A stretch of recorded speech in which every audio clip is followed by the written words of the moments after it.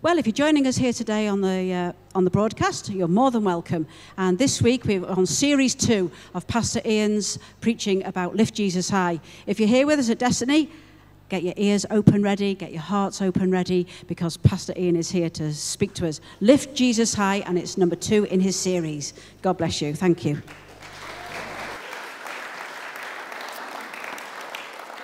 Thank you, Rachel. Last, last week we started part one with lift up Jesus. We saw how the word lift up is the biblical word exalt. We saw how that exalt means to put Jesus in the preeminent place, bigger than. So if you remember that bigger than, say this with me bigger than. Bigger than. It's putting Jesus bigger than any problem that you've got. That's what it means to lift up Jesus, bigger than your past, bigger than the fear, the, bigger than the future, bigger than. Exalt is just means put him bigger than. Things get bigger than, don't they? But we've got to put Jesus back in his rightful place. We said there was going to be three parts. Last week we looked at lifting up Jesus, our Savior, bigger than our sin, bigger than our failure, bigger than our past, bigger than the thing that we thought was going to rob us from our relationship with God. But God was bigger than that, and He came out to be our Savior. Hallelujah. And we're redeemed. If you've believed on the Lord Jesus Christ, you are saved. Amen. This week we said that we were going to lift up Jesus, the promise keeper. and so that is all about, and, and you're going to hear it in the next few minutes, the fact that he's bigger than all of the needs that you'll ever need because he promised. He who promised is what? Faith. Say it again. Faith. He who promised is. Faith. And next week we're going to lift up Jesus, the sovereign Lord. We're going to lift him up just because he's Lord. There's just a time, isn't there, to worship God just because just because he's Lord. And that's going to, that ties in really neatly with next Saturday, which is going to be a praise party. So we're going to come and boogie for Jesus on Saturday. And then on Sunday, we're going to find out the reason why we did that. Blessing the Lord at all times. And his praise is going to be continually in our mouth because God is an awesome God. Now turn with me to Psalm 23. And we're going to read Psalm 23 together as we come and look at this verse. So Psalm 23 says this The Lord is is. Not maybe, was, or will be, is. The Lord is my shepherd. I lack nothing. Why? Because we lift up Jesus, the promise keeper. You don't need to lack anything because the promise keeper said, I will meet all your needs according to his riches, which are in Christ Jesus. The Lord is my shepherd. I lack nothing. And then it says this He makes me. In other words, He leads me, He guides me, He's in control of my life. He makes me lie down in green pastures. Sometimes we think He takes us in rocky ways. But I want to tell you something when you trust Him, when you lift up Jesus in your life, when you go to where He wants you to go, included in that journey, there will be green pastures. What happens in green pastures? We get ourselves restored and things happen for us and refreshed. And then it says, He leads me beside quiet waters. I know that during the holiday season and the kids are home and or whatever else, it can feel like that we're living in a war zone. You know, it's like a crazy world in which we're living. How many of you really love watching the news just right now? You know, I mean, you turn the news on at 9 and it's like, oh, yeah, that's really good news. On at 10, that's really good news. On at 11, no, it's really good news. Now, it isn't really good news, is it? There's all sorts of uncertainty and chaos going around, not just in, in Britain, but in many parts of the world. There's chaos and confusion going on in the world in which we live, but in the heart of every believer, when you lift up Jesus, this is what will happen. He will lead you beside still waters, and you'll say, It is well with my soul. It says that He refreshes our soul. We get tired. We all of us get tired, and that refreshing comes. You know, it's great to lift up Jesus who is committed to refreshing you. Sometimes people get sick and tired of being sick and tired. Well, I want to tell you when you lift up Jesus, He will refresh, restore your soul. So, in the middle of the chaos of everything that's happening in the world, you'll say, No, He restores my soul. He refreshes my soul. He guides me along the right path. Lift up the one who knows the journey before you get there. That's really interesting, isn't it? These days we've all learned to trust TomTom, haven't we? Or this little woman in our dashboard of your car. How many of you disagree with her quite often? Why is it that all, all TomToms are a woman? It's because, gentlemen, you've been used to, programmed to listen to your wife. So, you know, the women are very important in our lives when they say turn left. And, and if you're very used to saying to your wife no, you will speak to the dashboard of your car and say, No, I know better. But I, I've learned this that even if I disagree with my dashboard, she still gets me there in the end. And I want to tell you something you know, God will lead you, He will guide you. It's important to listen to the voice of God. He guides us along the, the right path. You can make decisions we all make decisions, but whether it's right or not, that's a different thing. And God, but God wants to lead you by the right path because He's got a plan for you. And why? For His name's sake. There's something at issue here.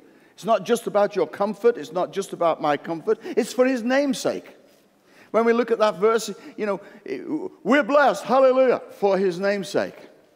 We're in the right place at the right time with the right people for His name's sake in the end, the whole lot of this, this church, all that's happened over these last few years with the incredible growth that we've seen and all the rest of it, it's not for our namesake, it's for His namesake. When you live and you, you are blessed and you move around in the world and you lift up Jesus, we're doing it for His namesake. Let's live for His namesake. When you go to work and you work well, it's for His name's sake. When you get commended by your boss, it's for his name's sake. When you're enjoying life with your wife or your husband, it's for his name's sake. When you're raising your children for the glory of God, it's for his name's sake. Let's live for the glory of God. Lift up Jesus. You know, I mean, there's stuff being lifted up in the world right now that is big, but we're going to lift up Jesus for his name's sake. Okay. Uh, sometimes we walk through the valley the darkest valley, the valley of the shadow of death. Well, that's okay. Let's get real, huh? How many of you know, like me, that actually sometimes we have difficult times? We, we, hit, we, we hit it, you know, it's like we hit the wall. It's like tough. We hit tough times mentally. We hit tough times emotionally. We hit tough times financially. We hit tough, tough times relationally. We hit tough times where everything doesn't work out like the dream that we had, like we think it should. Not even tough times like the Bible says that it, it should work out. You know, we read all these verses in the Bible and we say, it shouldn't be like this. But the truth of it is, it isn't going to be like that forever. But we do go through. Say through. What does through mean? It means through, and you come out the other end. We go through a valley of the shadow of death. You go through difficult times. You go through bereavement. You go through, you know, disappointment. You go through discouragement. You go through. You only go through, however, if you're going to trust that you're going to come through. I've seen people go into and stay stuck, and they're living in a valley. If you think you're living in the valley and you've been there too long, it's time to start thinking about through. It's rather than saying, I'm here and I'm here to stay, you're going to need to, to introduce one word into your heart and into your mind, into your thinking. It's the word through. The word through. We're going to come through this. Whatever you're going through right now, you're going to come through it. You're going to come through it if you understand that his rod and his staff are there to comfort you and bring you through it, and you're going to lift up Jesus even in the middle of the valley, you're going to come through. You know, when somebody looks at your life and you might be in a difficult time right now, you know, and they say to you, oh, shame for you. You need to learn how to say to them, well, yes, it might not be going good for, my, for me right now, but I'm coming through.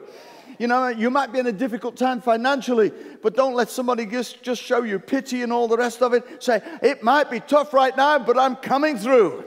You might have had a difficult time in your physical body or your emotional your mental time. See, it might be tough right now, but I'm coming through. This isn't the end of me. I'm coming through. Hallelujah.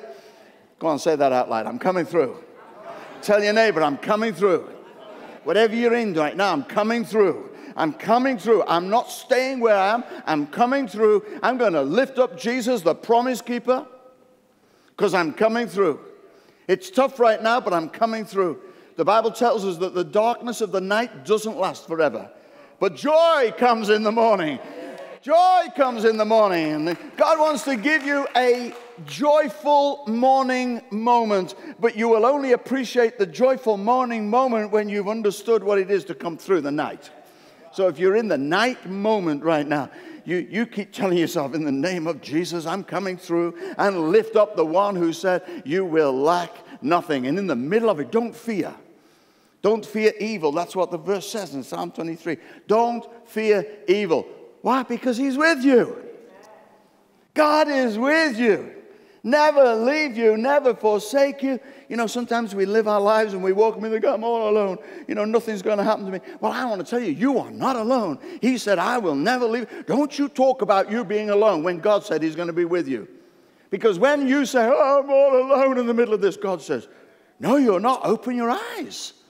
Because if you'll only open your eyes and open your heart, you'll realize God is with you. He's there supporting you guiding you, providing for you, protecting you, being with you at all times in every step of the journey because you're coming through. The devil thought he got you stuck there. The devil had dug a big hole and said, Jump down there, stay down there, and I'm going to shovel the dirt in on the top of you. But we said, No, I'm not going to stay in that hole. I'm coming through. Hallelujah. You remember Joseph's brothers put him in a hole like that and they thought it was the end of him? But God had another plan for him. Maybe something has happened in your life, in your experience, and, and you thought, no, I'm, I'm, in, I'm in a hole. I'm stuck down a hole. Well, listen, I've got a word from God for you today. Get out of your hole. You're coming through. The sun is coming up on a new day for you. All you've got to do, even when you're in the hole, is lift up Jesus. He is with you. His rod and his staff, they comfort you. And goodness and mercy Oh, le bonheur la grâce m'accompagneront tous les jours de ma vie, vie pour éternellement. Hallelujah. That's for our French speaking people here. My pastor. Oh. Le bonheur, le, the good hours, the good days. M'accompagneront, they're, they're my companion. Tous les jours, every day of my vie, my, my life. Pour toujours, or for all the days. And you've heard me speak it before, you know, that it says goodness and mercy follow me. The word follow there is not just, you know, reluctantly following behind us. The word there is the word that is only really used, the rest of the Bible has been an enemy who's chasing after you. And it uses it to make a play on words here, and it's saying, goodness and mercy are chasing after you every day of your life. And they're going to get you. Why? Because, because God is determined to bring you through. That's why, in the middle of the tough times of your life, lift him up. Lift Jesus up because he is the promise keeper. The Bible tells us very clearly in 2 Corinthians chapter 1 and verse 20 that the promises of God are yes in Christ Jesus. You know, you read the Bible sometimes and you say, I wonder whether that means me. Yes, it means you. I wonder whether God has bypassed me. No. The promise is for you. It's an issue of covenant. So let's go back just for a, for a moment into the Old Testament. The God of the Old Testament, who, by the way, is still the God of the New Testament, who is the God of 2019, the God who made the promises, never made a promise that he doesn't intend to keep. He never made a promise that is like, uh, oh, well, no, no, that's, that's for BC but now this is AD. Uh, and, it, you know, this is now 2019 and we know much better. Well, I want to tell you, he knew much better throughout the whole time and he made those promises, and it's called covenant.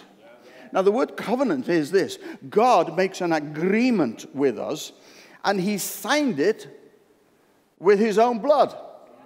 He signed the covenant and said, Heaven and earth, that's Bible, will pass away. But my word, my covenant, my promises will not pass away. So the promises of the Bible are yes and amen concerning you. God will never change his mind. That's why you can lift up Jesus, the promise keeper. Hallelujah. Bible says ask and seek and knock. Why? Because when you ask, he's not going to say no. When you seek, he's not going to play hide and seek. You know, I watch my grandchildren sometimes playing hide and seek, and they, and they find the most amazing places in my house. And after half an hour, we're still trying to find them. And then you find them in the back of some wardrobe somewhere, and, and they were not never going to be found, ever, quietly. You know, and the other kids, and that, we're all starting to get worried now. Where, where are they? Where are they? Well, God's not like that. When you seek Him, He will be found by you. That's what the Bible says. If you draw near to Him, He'll draw near to you. That's what the Bible says. All He wants you to do is seek Him. Rather than living your life saying, Do you know what? I'm going to work this out on my own. You know, I'm going to do this absolutely alone.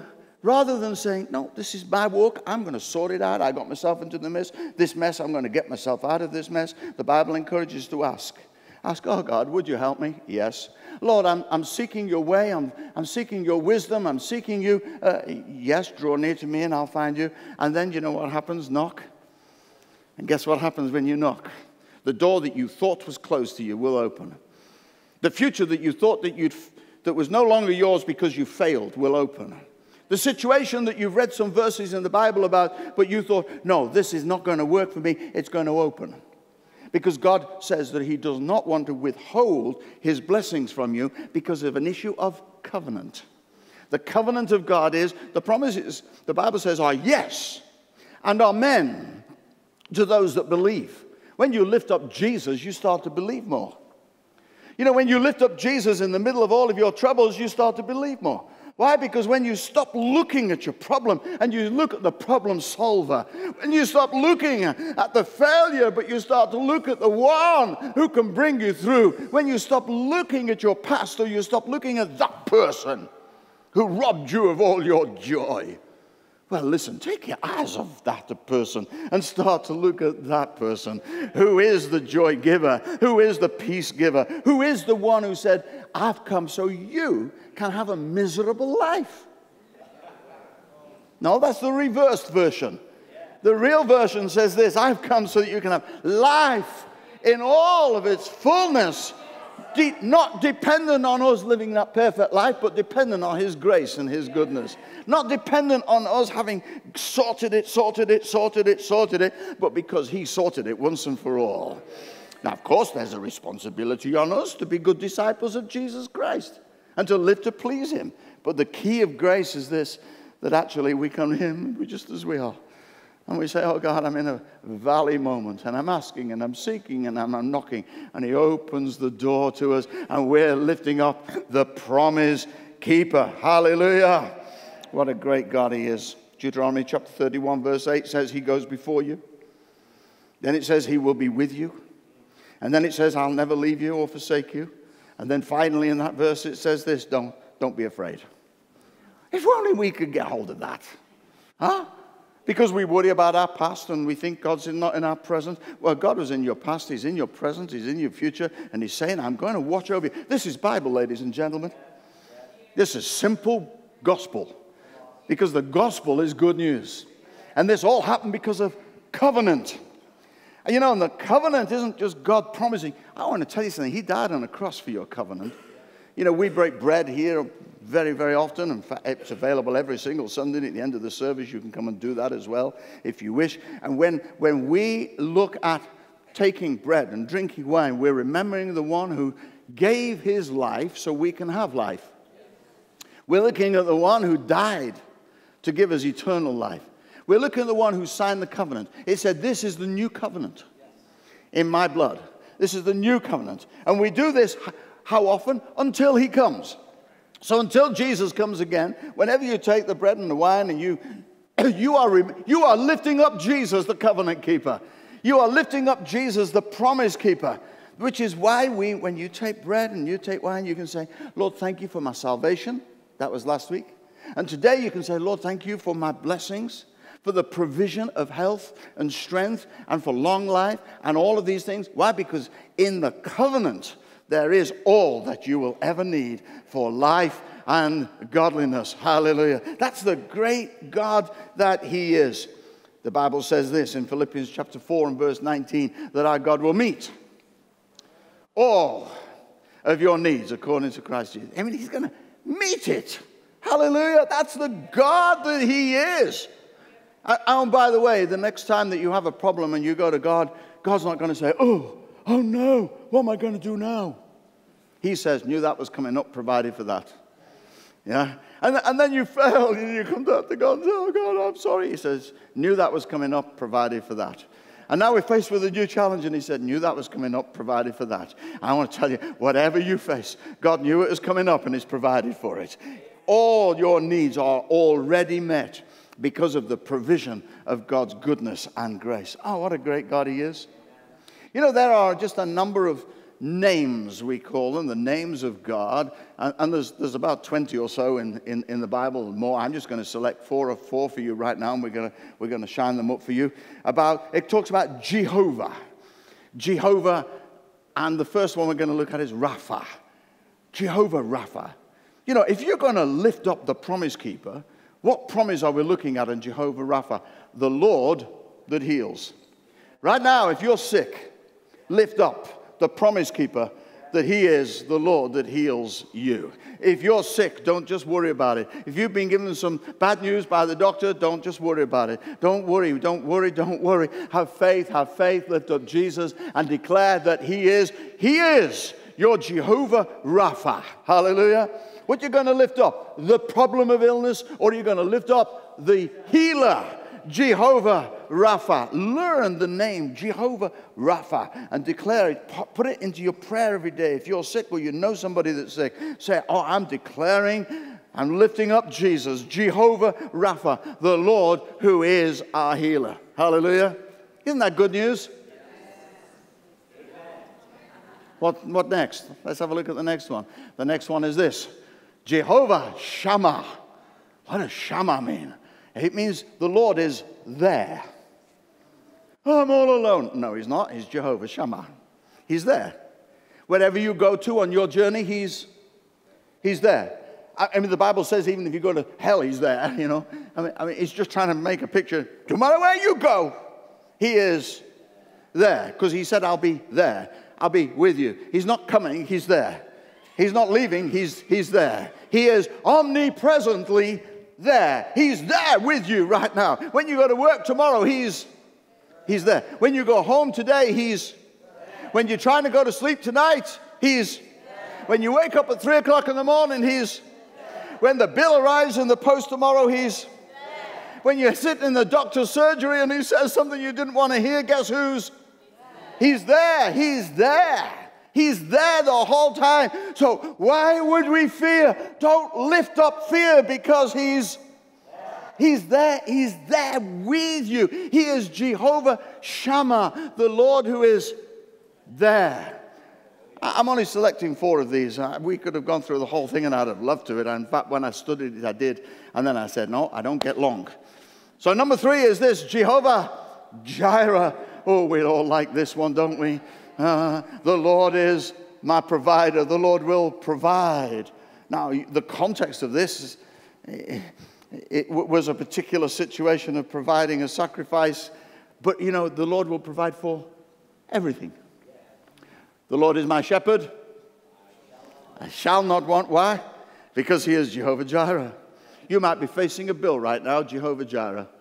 Don't lift up the fear of the, of the finance, lift up the faith of the God who promised. Lift up the promise keeper who said, I will meet all of your needs. And if you've had your needs met this last week or the last month, make sure that you're one of those people that come back and say, Oh, look what the Lord has done for me.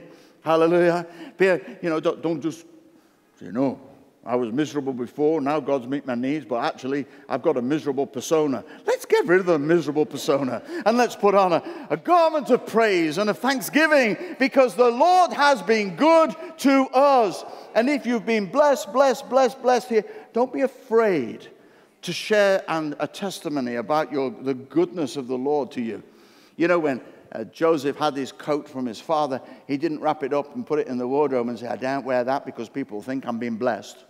No, he put his coat on and he wore his blessings with. great. Okay, it got him into trouble with his so called brothers, but who's ca- who cares about so called brothers? You enjoy your blessings. Why? Because he's a promise keeper who promised to provide for you. And when God provides for you, whatever it is, you know, I've seen God provide for, you know, the hundreds of people that are here Sunday by Sunday. God's provided cars. Some of you have had free cars given to you. Hallelujah. We're driving in and we park it down the street somewhere so nobody knows. You know, God has provided holidays. Somebody said to me a little while ago, Do you know what? Somebody's just come to me and, and given me a free holiday. Well, hallelujah, Jehovah Jireh. Some, somebody has been provided with, with the right home, or they've been provided with a, with a bed, or a three piece suite, or a fridge, or a freezer, or a, you know, all sorts of things. You know, in my life, I've been provided several times with the keys of a car. I remember right, right at the very beginning of my ministry, way, way back in 1970, uh, 90, 2000 and in 1973, I remember in the very first church that I ever went to be a pastor of, and I, you know, I was earning four pounds a week. That's what it was. Everybody else was earning five, but, I, but no, everybody else was earning a lot more than that. Four pounds a week, and I couldn't hardly afford to do anything. And somebody came up to me at the end of a church service and gave me, we used to call it a Pentecostal handshake. How many of you know what one of them is? Yeah, we got a guy here who's a pastor, was a pastor of an Elim church in Holyhead. Welcome. We're really glad to see you today, and you'll know what this means. But somebody shook me by the hand, and, uh, and, I, and when the hand was released, there was, a, there was a car key there. And I, and I went, What's this? And they said, It's my car outside, it's yours. And I went, Oh. Hallelujah. And what, what do we do, Jehovah Jireh? You know, you, you couldn't hide it because it's a 12 seater minibus. and uh, a Bedford Dormobile with sliding doors. Yeah, with little leather things here, and you drive around with the doors all slid, slid. My wife learned to drive in one of them. Yeah? That's another story. Oh, I've got some stories I could tell you about that. I just looked at the clock. I haven't got time. And I looked at her face. I definitely haven't got time. But there you go. A, you, you know, God is a great provider. Enjoy your holiday. Enjoy your car. Enjoy, enjoy the blessing. God gave you a job. Enjoy it. God gave you your neighbors who've been kind to you. Enjoy them. Thank the Lord for all of the blessings. Every provision isn't just because you've, you've got a kind friend. I want to tell you something. God organized for that kind friend to be a channel through whom He can bring a blessing to you. And He got it from where He is to where you are. And what we've got to make sure now is the blessing doesn't stop with us. We've got to take that blessing and let it flow. We've got to let it go. If somebody said this, and I really like it if God can't get it through you, He's not going to give it to you. Do you get that? If God can't get it through you, He's not going to get it to you. You know, and there's been sometimes when people have sat in our office and they've talked to Rachel and me and they talk about, well, this whole thing, you know, isn't working, giving, generosity, tithe, nothing isn't working. And it's like, ooh. You know what? It works every time. When you put it together like God intended it to put together. Lift up Jesus. Lift up the one who is the promise keeper. He is Jehovah Jireh. And lastly, this, this is the last one for this morning. He is Jehovah Shalom. He is the Lord who is our peace. Whatever you're going through right now, God wants you to be in peace. You might have had a disappointment, Jehovah Shalom. You might have had a discouragement. You might have had a setback. You got worried and your anxiety, you know, the anxiety. Well, let God be your Shalom. Lift up the promise keeper who said in the middle of the storm, I'm going to give you peace. Who, when the angels came to announce him, talked about peace be unto you. Peace be unto you. I want to speak a word of peace over you and all those people that are watching us on the broadcast in many countries around the world right now. God wants to be your Jehovah Shalom. He is your peace giver. He is the peacemaker. He's the peace. You can be in the storm, but in peace. You can be in the middle of all the chaos that's happening around the world and be at peace. You just need to declare him to be your Jehovah Shalom. We need to do that as well, don't we? In your marriage, in the situations that are going on, Jehovah Shalom. In all the worry that comes in, your, in the night, Jehovah Shalom. You know, somebody else might be treating you real bad, uh, but He's always going to treat you real good.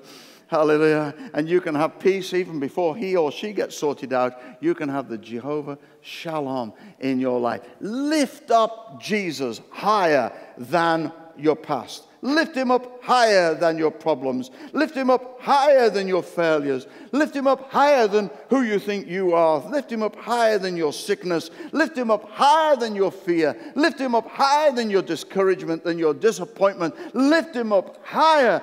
We've got to exalt the Lord our God and bless his name and say, You are our Jehovah Jireh. That's just four of the names of God that we lift up and we say, You are our great provider. You are a covenant keeper. You are the God who is with us, who will never fail us, who will never leave us, because he's such a great God, isn't he? Oh, hallelujah. Now, you know, there's people here Maybe you don't know Jesus. It's time to put him in your life, right at the center of your life. It's time to come to a place of faith. It's time to come to a place where you say, Jesus, I'm going to give my life to you. Why wouldn't you want to give your life to a Savior? Why wouldn't you want to give your life to a promise keeper? Why wouldn't you want to give your life to the King of Kings and Lord of Lords? And, it's, and it's, it comes in a simple moment when you pray a prayer that says, God, I want to get to know you. I'm giving my life to you, and I want to thank Jesus for dying for me on the cross. And I'm going to make a first step. Some of you are going to make that first step today. You're going to make a decision. Maybe you've known about it in the past, but you've never really done it. Well, it's worth doing it.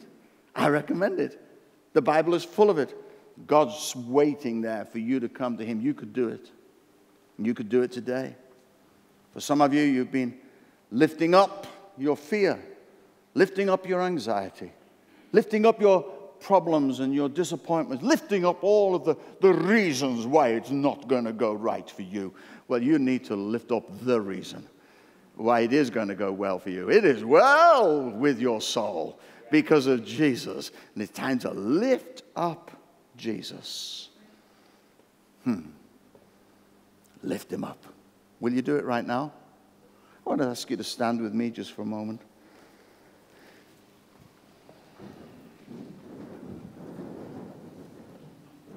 Right where you are, I just want you to tell God, give to Him your biggest concern. Give it to Him right now. And just say to God, God, I'm giving you my anxiety. Will you, will you give it to Him?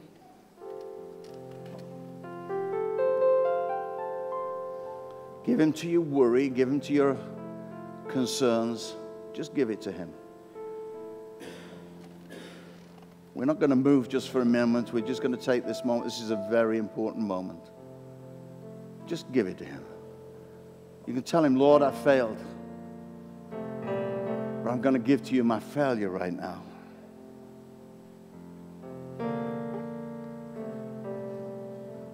Say, Lord, I, secret things that have been going on, and Lord, I give them to you.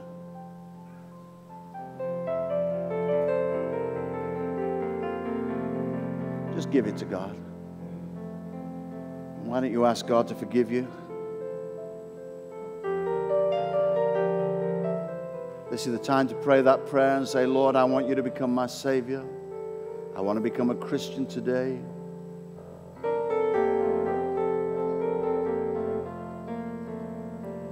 Why don't you give to God the anxiety that you've got about your future?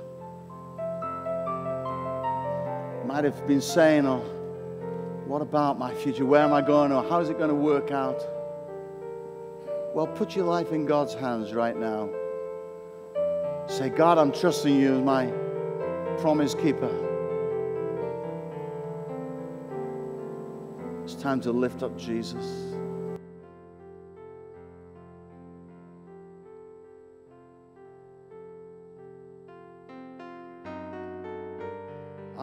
Come into your presence, Lord.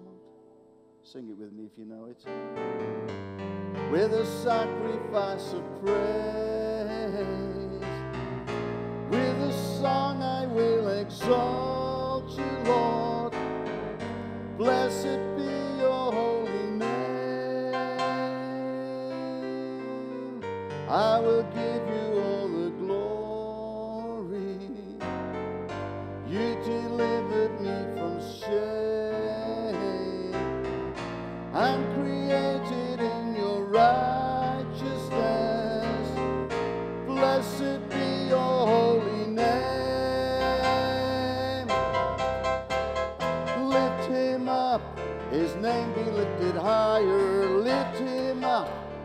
Exalt his holy name. Lift him up, his name be lifted higher. Exalt his holy name. Come on, sing it. Lift him up, his name be lifted higher. Lift him up, exalt his holy name.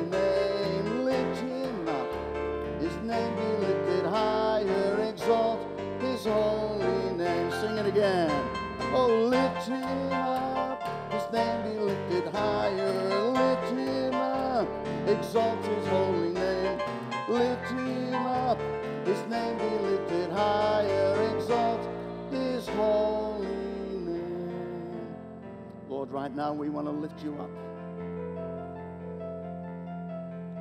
Come on, saints, let's just lift him up in your praise right now. Just, just begin to bless the Lord, and you can begin to say, Lord, thank you for my healing.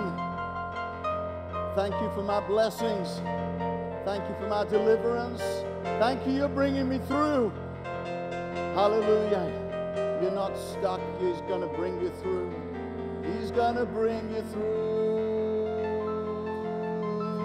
All of his blessings are yes and amen. All of his blessings, all of his promises, they are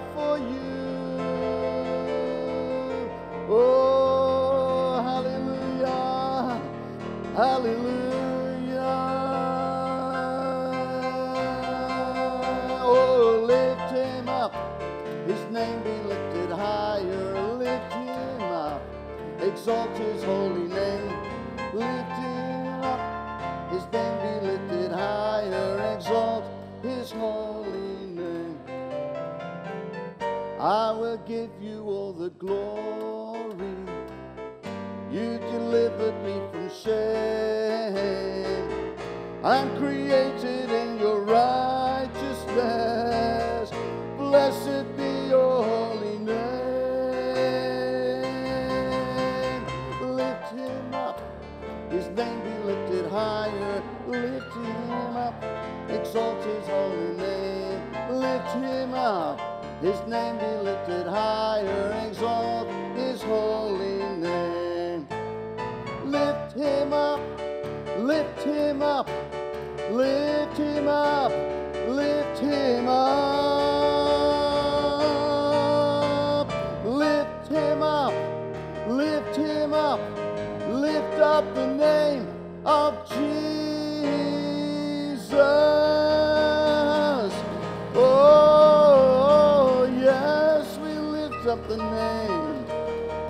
lift up the name. We lift up the name. Lift him up. His name be lifted higher. Lift him up. His name be lifted higher. Lift him up. Be lifted higher. Exalt his holy name. Do it all week. Do it all day. Do it for the rest of your life. Lift him up.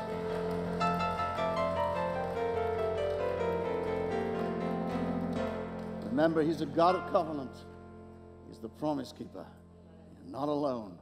You never need to fear because he who promised is faithful. Come on, you can come and take bread now if you wish to, and then there's free refreshments at the end. Thank you for being at Destiny. It was good when we said, Let us go to the house of the Lord. God bless you.